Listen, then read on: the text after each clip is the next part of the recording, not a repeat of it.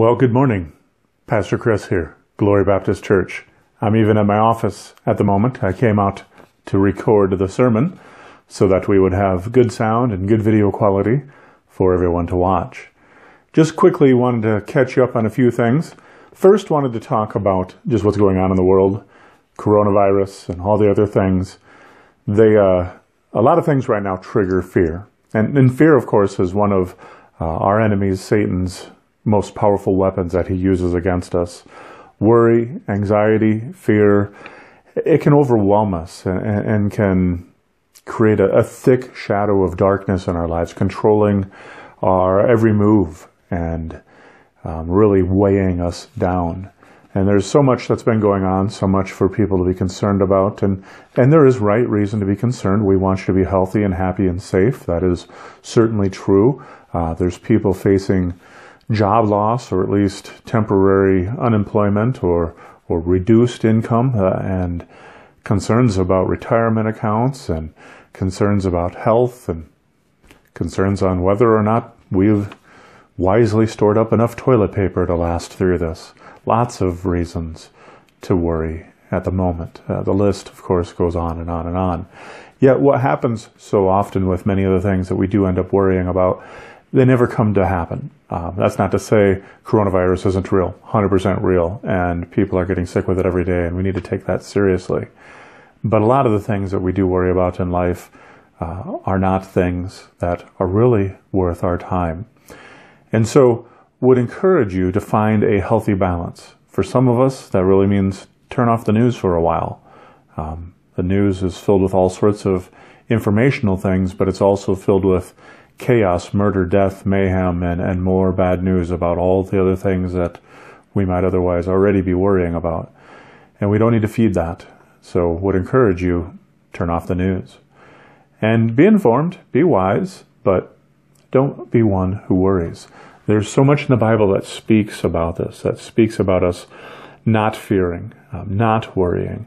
Over and over and over again, as you read through the Bible, God's counsel for us is do not fear. Um, we are not a people who are guided by fear, but we are a people of faith. And we need to live that out. So I would encourage you if you are struggling, that's okay. We all struggle at times. Reach out to somebody. If fear and anxiety are getting the best of you, give me a call. Uh, I can talk with you. We can Zoom meeting, or we can put you in contact with a professional uh, who can help walk you through the time that uh, you need to help kind of sort through things and make yourself feel better.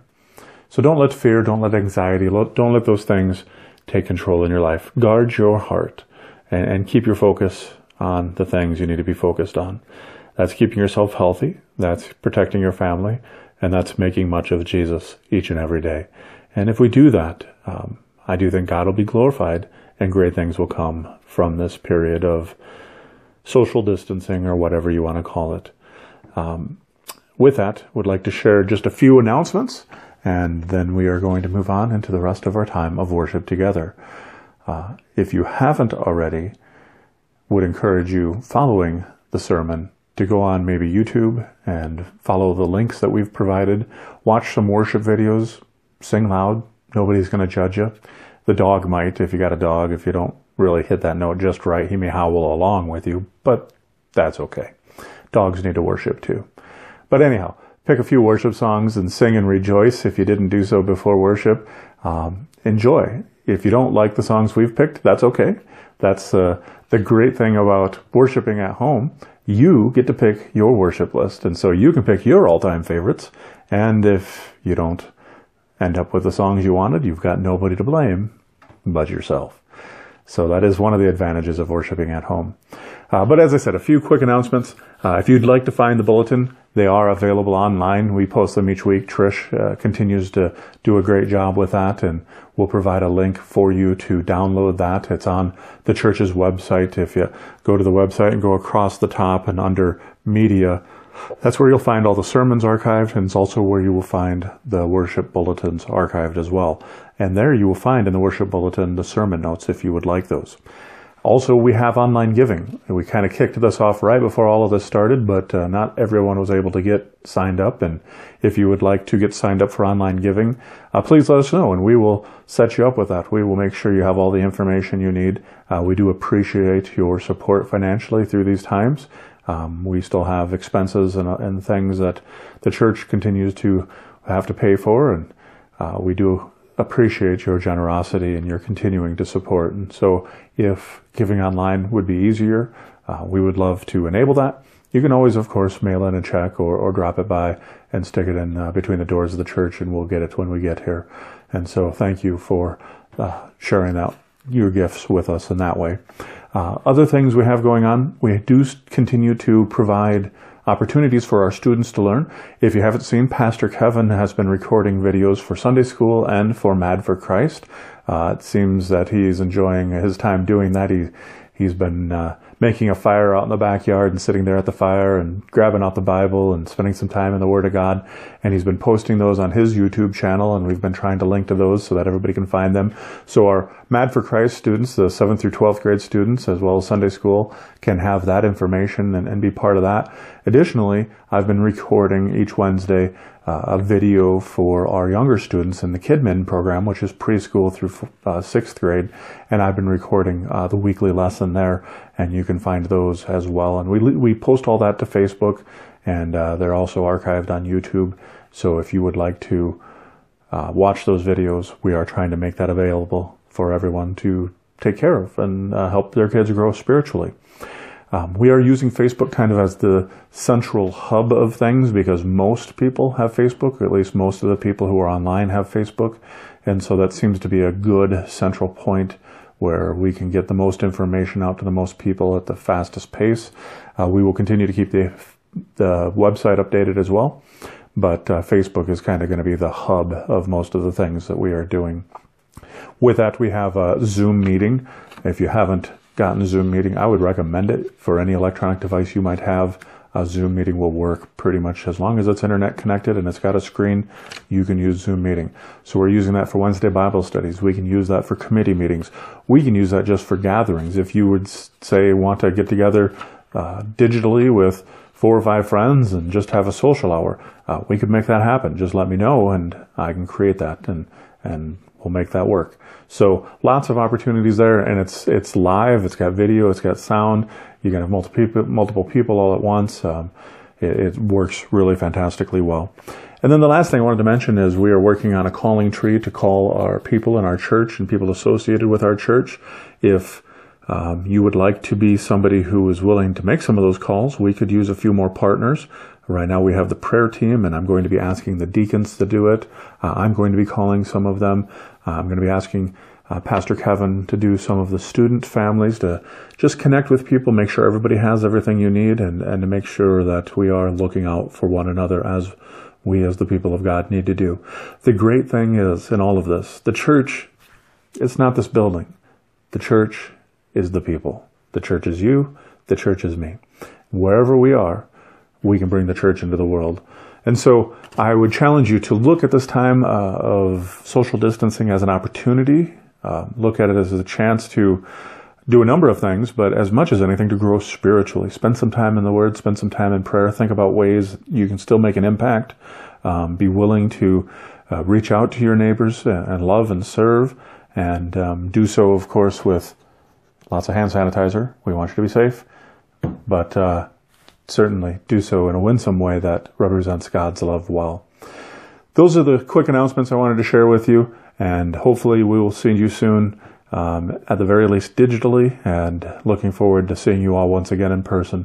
While the church is not the building, it's awesome when we get to get together, and, and I do miss it. I miss the sound of Sunday morning, of hearing the lobby beginning to fill, uh, the, the lobby goes from very quiet when I get here to a, a dull roar by the time worship is about to start. Uh, I look forward to once again be standing on the stage, looking all at your beautiful smiling faces, uh, lifting our voices together in worship and song, uh, hearing Sherry on the piano and sharing the Word of God with you in person. I look forward to that. But in the meantime, we're going to make the best we can with what we have we are going to glorify God and we are going to praise and worship Him. So thanks for being part of the Life of Glory Baptist Church. Let's worship. Good morning. I'm Sandy Westvig, and I am part of the missions committee here at Glory. And uh, I wanted to highlight one of our missionaries that we support, and for reasons of where they're at, is quite sensitive. So it will be Mr. S and Miss B when I talk about them, just to keep their identities safe and not cause any harm to them. This was their Christmas letter that they had sent out, and I just kind of felt that kind of fell into line with what a lot of things that have been going along in our world right now. Um, she had had started reading a passage in Exodus, Exodus 13, 7 through 18 um, says, When Pharaoh let the Israelites go, God did not lead them along the road to the land of the Philistines, even though it was nearby. For God said, The people will change their minds and return to Egypt if they face war. So he led the people around toward the Red Sea along the road of the wilderness. And that was kind of sets the precipice of her start of her Christmas letter. She writes, It was early in the morning, and the sun was just beginning to stream in and warm the cold mud brick walls of her house. The vendors that often lined the streets outside her gate had yet to break the silence of the night with their shouts of what they were selling. As a seeker of silence and solitude that morning, I was grateful for their delay. I made my way to the coveted corner of our tashkas. The fluffy oversized pillows that lined the walls of our living room, and I began to read the familiar story of God rescuing the Israelites from the mighty hand of Pharaoh. But when I arrived at this particular set of verses, my eyes filled with tears that continued to fall through the rest of the story. What struck me that morning was the intentionality of God in choosing to lead his people along the road of the wilderness. The wilderness road wasn't the most direct route to their destination, and the way was unknown and foreign to them. By my standard, that's not a very strategic or efficient way to go. Yet we see God's diverted them away from the nearby road and sent them along the roundabout way. But the beauty of our God is that He is present with us, not because of anything we've done, but simply because He delights in us. He loves us and He longs to show us His glory by actively and miraculously participating in our lives. As He led the Israelites, He read, the, we read, excuse me, that the Lord went ahead of them, guiding them and never departing from before His people. God knew the wilderness road would lead the Israelites to the shores of the Red Sea. He knew the hardened heart of Pharaoh and it was no surprise to him when the Pharaoh changed his mind, gathered his army, and fiercely pursued the people of Israel. Caught between a merciless Pharaoh and the depths of the sea, the Israelites were trapped between two overwhelming circumstances, neither of which they could navigate on their own. And it's there, at the edge of the water, we see the intentionality of God in leading them along that road. For the first time since their departure from Egypt, God moves in behind his people, filling the space between them and Pharaoh's army. It's in that sacred space found along the road of the wilderness that God fights on behalf of his people, a fight only he could win. We know the rest of the story. God miraculously parts the depths of the Red Sea, creating a spacious place for his people to walk through. They confronted me in the day of my calamity, but the Lord was my support. He brought me out into a spacious place. He rescued me because he delighted in me. Psalms 18, 18 through 19. There is a mysterious beauty we behold along the road of the wilderness. Through the roundabout way is often difficult. We'll have to be crazy to want to travel it again. It's in that holy and sacred space that we encounter the faithfulness of our God. As Christmas approaches And as I find my own heart navigating what feels like a wilderness road, I'm reminded that hope has come in the most mysterious and beautiful way, ushered in, a, in on a promise to rescue us and never depart. So it is with this Christmas finds, if this Christmas finds you along the road of the wilderness, or if God has, God in His faithfulness has brought you out into the spacious place this season, may we all experience deeply the presence of Jesus, Emmanuel, the God who came in to dwell within us. And um, Miss B had wrote that on their Christmas letter, and they had some highlights they had on the back of the of their letter. And the one thing that kind of struck me was even from these are a young couple from Minnesota. The the farmer isn't far from him. He has a greenhouse that he tends to um, help supply their food need. So if anybody has a natural way to get rid of aphids, he would greatly appreciate it. I think because I think it kind of decimated some of his crop. But um, his gifting and what he loves to do is to fly. And God is using that for his purpose in a very barren and dangerous place right now.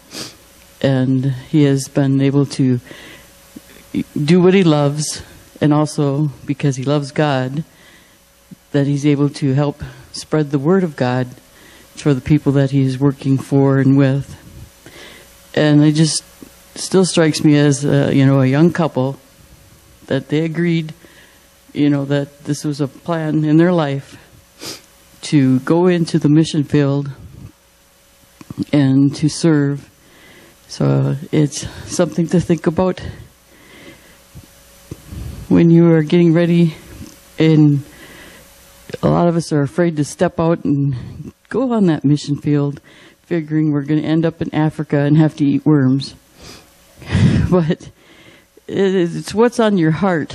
God uses your talents and your treasures that you He has given you, that uh, He will take you to places that fit your heart and your abilities that He has given you. So unless God has placed on His your heart to uh, minister to the African people, I don't think we have to fear where He'll take us next. Thank you. Well, if you have a Bible nearby, grab that. Otherwise, grab your phone or your iPad or maybe pull up on the side of the screen that you're viewing on here. We're going to be looking at the book of John once again, starting in John chapter 18, verse 28, and I'm going to read on into uh, chapter 19 and share those words with you. So again, John 18, verse 28. Uh, just a bit of the background. Um, Jesus has been brought out of the Garden of Gethsemane. Uh, he had been betrayed by Judas at this point, and then uh, been brought first of all to Ananias, the high priest. Peter, if you'll recall, has denied Jesus three times. Uh, the rooster has crowed in fulfillment of of Jesus' prediction, and that kind of brings us to where we're at here in John 18, verse 28. Uh, there it reads. Then they led Jesus from the house of Caiaphas to the governor's headquarters. It was early in the morning. They themselves did not enter the governor's headquarters so that they would not be defiled, but could eat the Passover. So Pilate went outside to them and said, What accusation do you bring against this man? They answered him, If this man were not doing evil, we would not have delivered him over to you. Pilate said to them, Take him yourself, and judge him by your own law. The Jews said to him, It is not lawful for us to put anyone to death. This was to fulfill the word that Jesus had spoken to show by what kind of death he was going to die. Verse 33. So Pilate entered his headquarters again and called, called Jesus and said to him, Are you the king of the Jews? Jesus answered, Do you say this of your own accord, or did others say it to you about me? Pilate answered, Am I a Jew? Your own nation and the chief priests have delivered you over to me. What have you done? Jesus answered, My kingdom is not of this world. If my kingdom were of this world, my servants would have been fighting, that I might not be delivered over to the Jews. but my kingdom is not from the world. Then Pilate said to him, So you are a king? Jesus answered, You say that I am a king. For this purpose I was born, and for this purpose I have come into the world, to bear witness to the truth. Everyone who is of the truth listens to my voice. Pilate said to him, What is truth? After he had said this, he went back outside to the Jews and told them, I find no guilt in him. But you have a custom that I should release one man for you at Passover.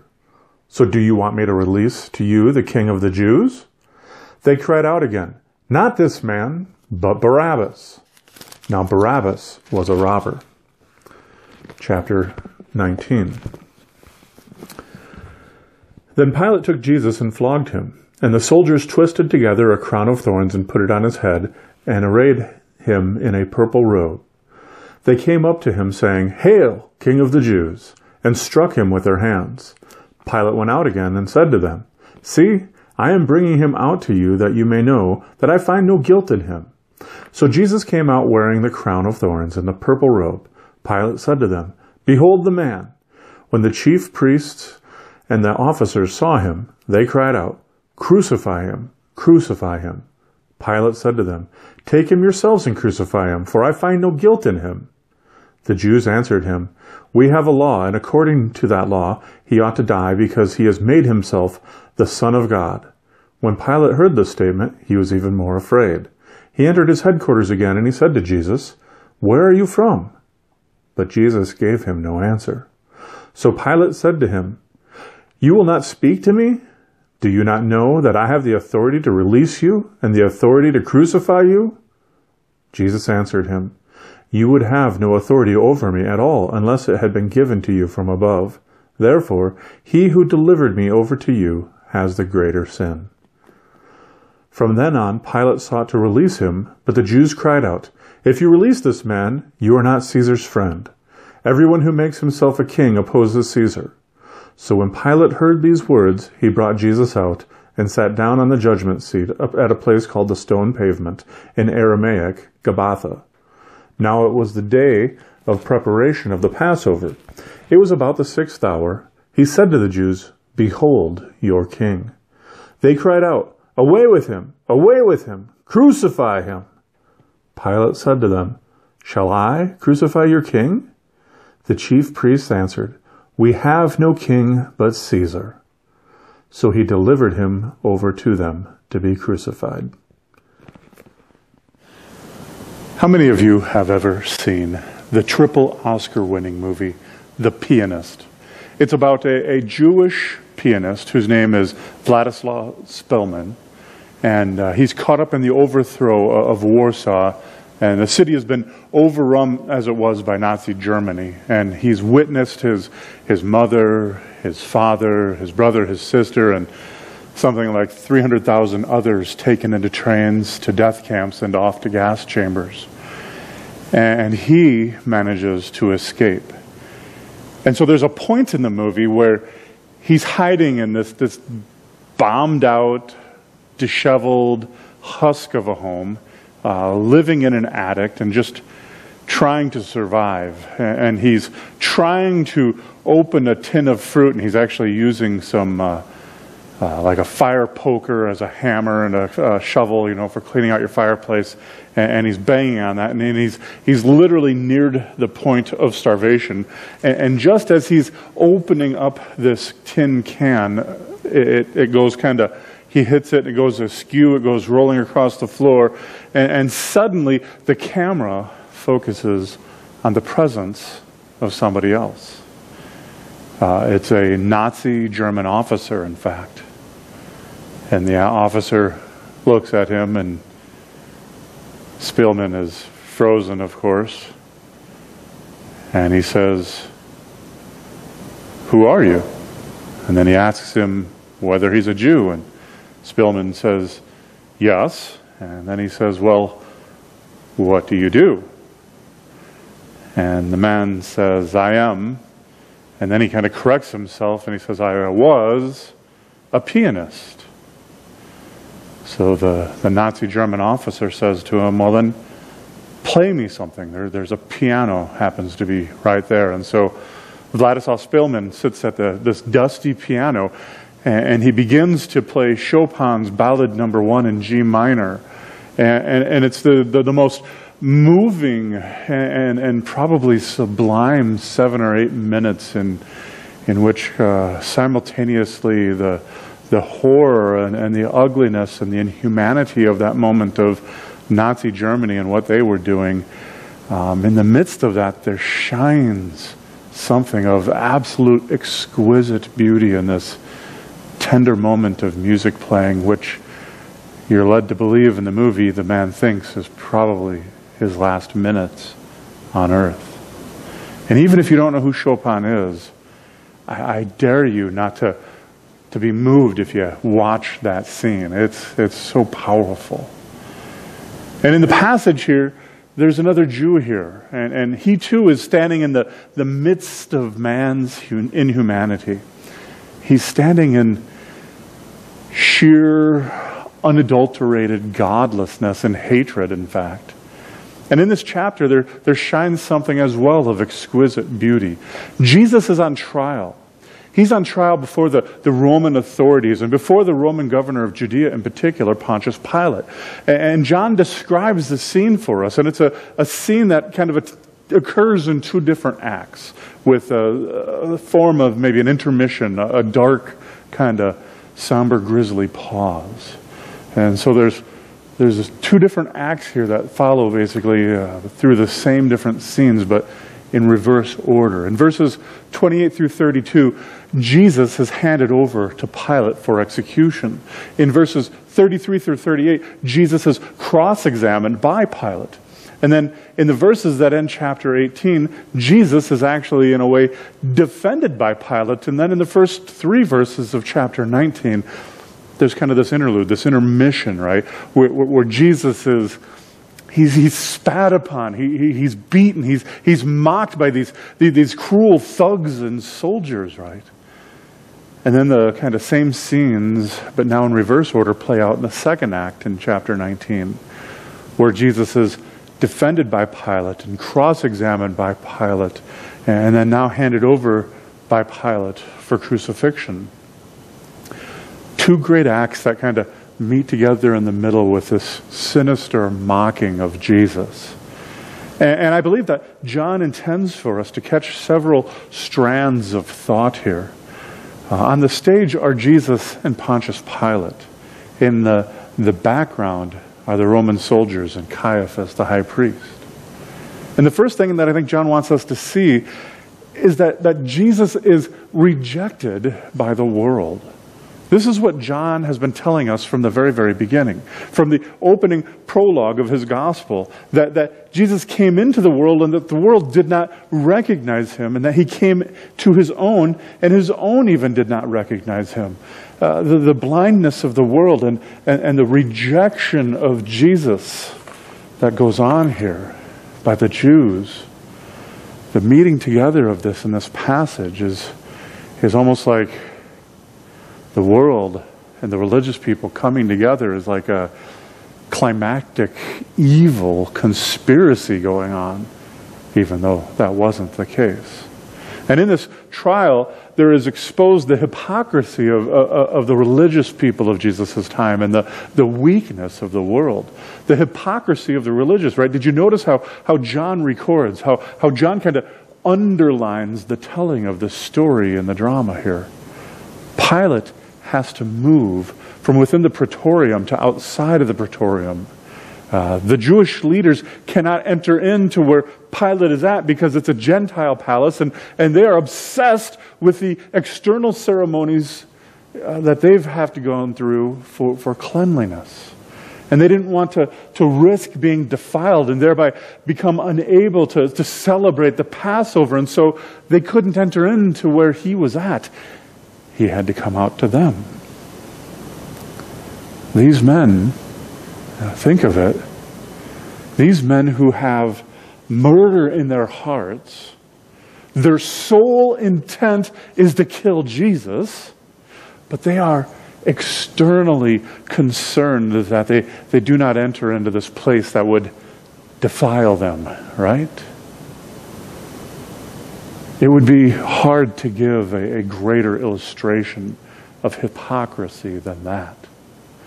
They are concerned about outward cleanliness, but they're altogether unconcerned about the righteousness of God.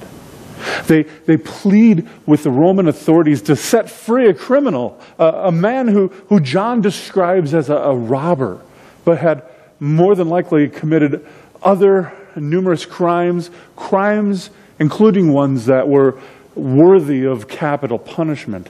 And they would have him be released rather than Jesus.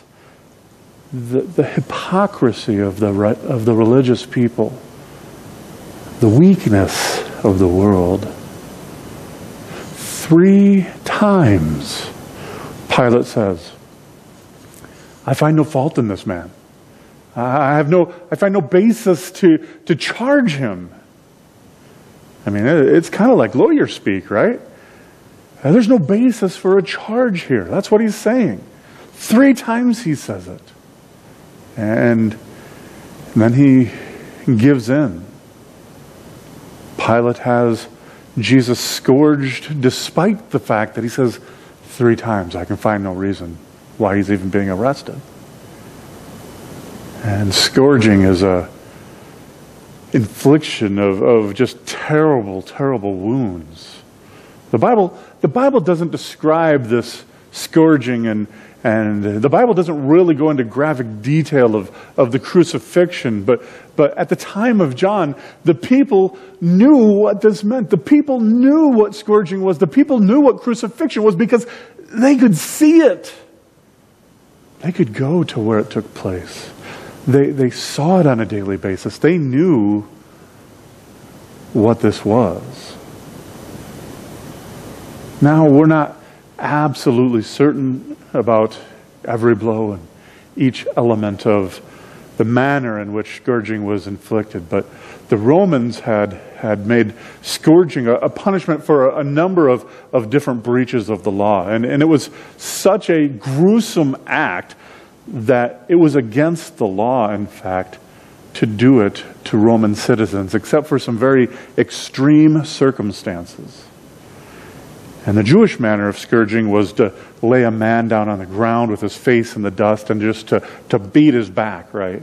But that was unlikely to be what was going on for Jesus here. This was a, a Roman scourging. They had, they had perfected this, where, where they would have tied the man to a post, right, and, and, and torn his shirt off or taken off his cloak or whatever he was wearing so that his, his, his back was exposed, so he didn't have any sort of protection. Uh, they would often bend the man over in some sort of way that it would tighten up that skin on the back so that that very first whip, that, that, that first infliction of these cords would, would have a, a chance to really dig in and get in there, right?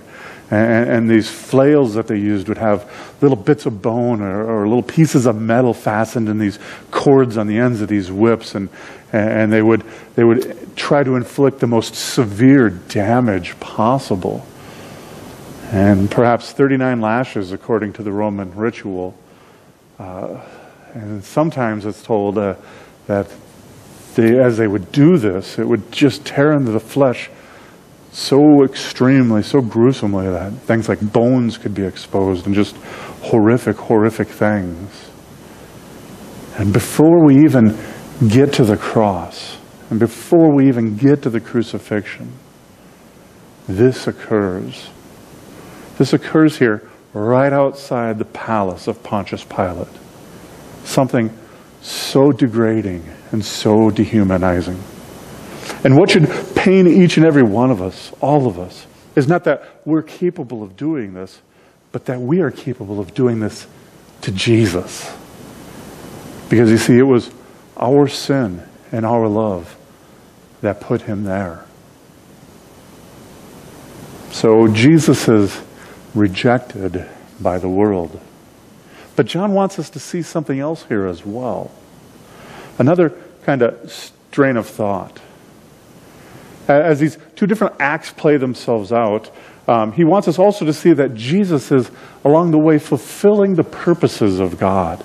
He also says this in, in verse 5 and then again in verse 14 that, that there is an aspect in which what is happening to Jesus here is only fulfilling what God had intended for Jesus from the very, very start. John is interested uh, in a couple of different phrases, these, these words that are uttered. Pilate utters them, the words that Caiaphas had uttered, that, that there was one man dying for the people. And then behind it, there lies this absolutely extraordinary truth that those men didn't even know as they were saying it what it meant. Pilate saying it in, in verse 5 Behold the man. And then again in verse 14, Behold the king, right? Isn't it extraordinary that, that Pilate should say this even more than once, in fact? Behold the king. And I think in that, and in these phrases, that, that John is saying to you and me. Do you understand that, that this ungodly man actually got it right? That, that Jesus was indeed truly the king, that he was the Lord of glory. Behold, the man, this, this broken man, this bent man, this bleeding man, this lacerated and torn man, this, this man for other men, this true man, the best man that ever was. And behold him. Behold him as he bleeds. Behold him as he undergoes such torment and trial and punishment and pain. Behold your king. Jesus is fulfilling prophecy. Look at verse 32. Pilate says to them, Take him for yourself. Take him. You guys judge him. You judge him according to your law. And the Jews said to him, No, we're not permitted to put anybody to death. That the word of Jesus there might be fulfilled, which he spoke signifying about what kind of death that he was about to die. Now, why is this so important? Why is it so important that Jesus should die in this way, uh, by crucifixion rather than by heart failure or cancer or drowning? Well, it had to be this way because Jesus is being hung on a cross because he will bear the curse that is associated, that is, that is spoken of in the book of Deuteronomy. That, that in order to take our place, in order to be the man for us, it had to be this way. And all the, the gospel writers make note of the, the crown of thorns that's pushed down upon Jesus' head. Why do they make note of that? what is the significance of it, right? What is the significance of the crown of thorns? Well, ask yourself, where else in the Bible have I maybe heard about thorns? Where else did you read about thorns, right? And it's in the book of Genesis. It's at the fall that the consequences of the fall, that, that thorns and thistles, right, would be mankind's life curse that the expression uh, of God's curse in labor was thorns. And Jesus is becoming, so to speak, the second man, the final Adam. Uh, that he's taking upon himself those thorns, that he's crowned them upon his head, because Pilate is saying, Behold your king. And he's taking this curse and he's putting it on his head and he's nailing it to the cross. And he's walking and defeating the flames of hell for you and for me. Do you notice in verses 39 and 40? Pilate unwittingly plays a part in this extraordinary custom that, that at the, the Passover, a man condemned to death, a criminal, guilty of capital crimes, right? That he should be let free. As kind of a, a symbol of the Passover. Perhaps that when, when the, the lamb had been slain and the, the blood had been sprinkled all over the, the beams, the, the, the doorposts, that the angel of death would, would pass over, that, that death would not visit, right? And somehow, and it's not a biblical thing, it's become a custom that had grown. And, and they would say, we want to release this one man, this person, set him free. And so you would think at this point they would say, yeah, release Jesus, right?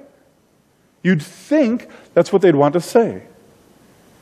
You would think that's what you and I would say if we had been in Jerusalem that day, right? Wouldn't we be inclined to say, oh, yeah, I totally would have been down. I would have been like, let's, let's get that Jesus guy out of jail, right? I don't think he did anything wrong. Let's set him free. And it, and it still, to this day, shocks us, doesn't it, when they say, uh uh-uh, uh not Jesus. Barabbas! Give us Barabbas. The thief, possibly he's a murderer. Give us him instead of Jesus. Barabbas. You guys want Jesus or Barabbas? Barabbas! Each and every one of them. Give us Barabbas. Which one do you want? Barabbas. Definitely Barabbas. And so they choose Barabbas. You remember that day when Jesus had come into Jerusalem? We, we celebrated on Palm Sunday. And just days before this occurs, they're rejoicing, right? They're celebrating. It was the day when the, the shepherds would come into town and they would bring the Passover lambs into the city. And, and it would have been an extraordinary sight. I mean, thousands, if not even tens of thousands of these little lambs. Uh, they would have been on every street corner and every nook and every cranny of Jerusalem. And you could hardly move without bumping into one of these, these little lambs that were the Passover lambs. And, and, then here comes walking into, into their midst the, the, the, Passover lamb himself, right? Who has come to lay down his life in order that the curse due from our sin could be removed. And then there's something else, because John makes an allusion to it in, in verse 19. To a moment when Jesus is in this trial with Pontius Pilate. And, and Jesus all of a sudden doesn't say anything, right? It says, Jesus gave him no answer. What was Jesus doing here? I mean, why, why, why didn't Jesus respond? Why didn't Jesus answer the question? Do you think maybe John had a bigger point he's making here? Maybe he's saying something to you and me. And what I think John is probably saying here is, do you remember? Do you remember back to Isaiah 53? Isaiah 53 says this it says that he was despised and rejected by men, a man of sorrows and acquainted with grief. And as one from whom men hide their faces, he was despised and we esteemed him not. Surely he has borne our griefs and carried our sorrows, yet we esteemed him stricken, smitten by God, and afflicted. But he was pierced for our transgressions, he was crushed for our iniquities. Upon him was the chastisement that brought us peace. And with his wounds we are healed. All we, like sheep, have gone astray. We have turned every one to his own way, and the Lord has laid on him the iniquity of us all. He was oppressed and he was afflicted, yet he opened not his mouth. Like a lamb that is led to the slaughter, like a sheep that is before its shear is silent, so he opened not his mouth. By oppression and judgment he was taken away. And for his generation, who considered that he was cut off of the land and of the living, stricken for the transgression of my people, and they made his grave with a wicked and with a rich man in his death although he had done no violence, and there was no deceit in his mouth. And I think not only is John saying, Do you remember those words? He's also saying in the self consciousness of Jesus that Jesus remembered those words as well. And he is now identifying himself as the suffering servant of the Lord coming into this world for the redemption uh, of his people. Jesus is exposed to the rejection of this world. And yet, at the very same time, Jesus is fulfilling each and every one of the prophecies that God had ever laid down with regard to him. And in the chaos of this event, and in the tragedy of this event, God is still at work. And then there's this final thing that, that John wants us to see. He wants us to see that Jesus is condemned. We've seen him rejected. We've seen him fulfilling the purposes of God. And at last, we see him handed over for crucifixion. Jesus dies and Barabbas lives. It's often asked, can you imagine anyhow? You're walking down the street and you, you, you see Barabbas the next day, right? You see him walking down the streets of Jerusalem. Maybe he's buying some groceries or whatever. Can you imagine seeing him walking the street free and you, you walk up to him and you're like, Barabbas, Barabbas, you're free. Barabbas, how are you still alive? And the only answer that Barabbas could give was that Jesus had died in his place. That's the only answer Barabbas could give. Jesus died in my place. I've been set free. And it's like an acted out parable, isn't it? John is saying to us, Do you hear the gospel right here? This is the gospel. This is what it is all about. It doesn't get any better than this. Three times in the book of John. Luke has it five times. But three times uh, the verdict is passed that Jesus is not guilty, not guilty, not guilty.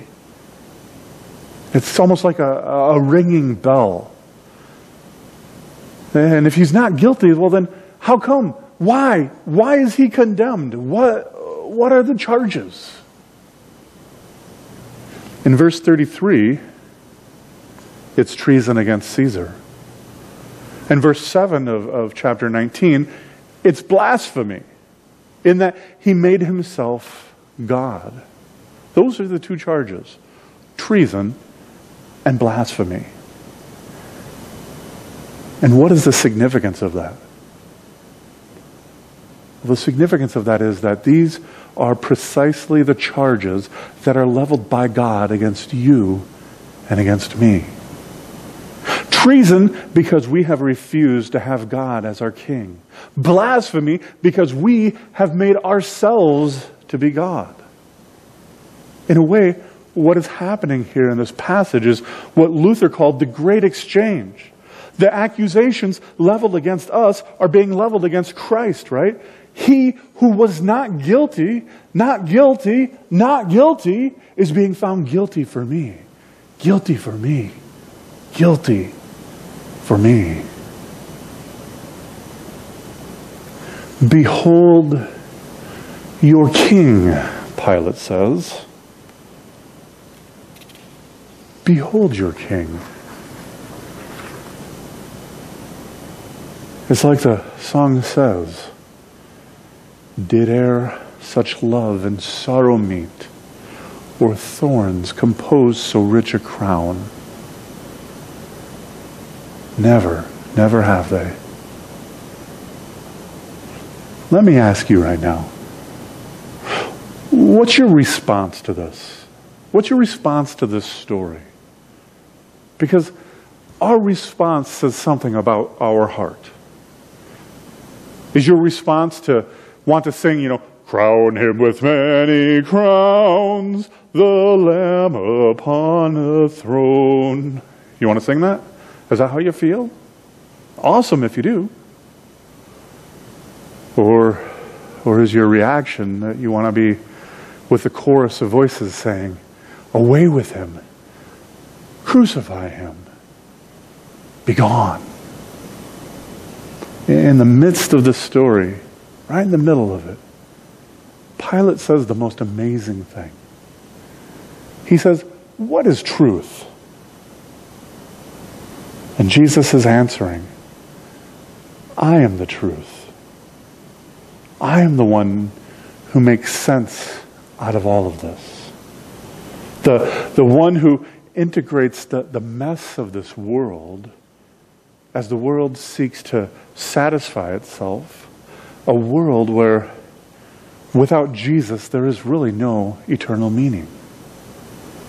And only Jesus can do this. Only in Jesus can we make sense of all of this. Only in Jesus can we find meaning greater than just self satisfaction. So, what is your response to Jesus? Our eternal destiny hinges on that response. Do we crown him or do we crucify him? Which will it be? Which will it be for you in your life? Let's pray. Father God, we thank you for this time that we've had together and for your word and for your love.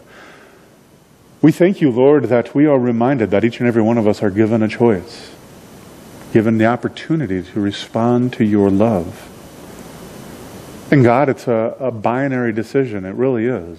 We're either going to accept Jesus, we're going to love Jesus, we're going to ask Jesus to be the light of our life, the Lord of our life. We're going to ask Jesus to come and take our sin. We're going to repent of those sins and turn away from them and turn towards you. Or God, the alternative is to turn to ourselves, to prop ourselves up as a, a God, to listen to our own counsel, to seek out our own wisdom, to believe that we are the solution.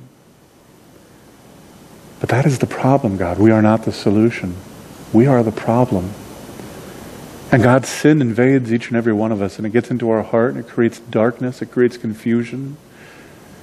And God, I pray against that. And I pray that everyone who's in this very moment listening and praying, that they would hear me clearly. We all have a choice. What are we going to do with Jesus? Will we crown him or will we crucify him?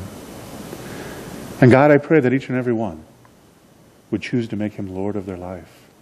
God, maybe they've already done this, and maybe they need to renew their commitment. Right now, maybe they need to just say, Yes, God, I've, I've made that commitment. He's our Lord, but oh, I've just really not been living that out.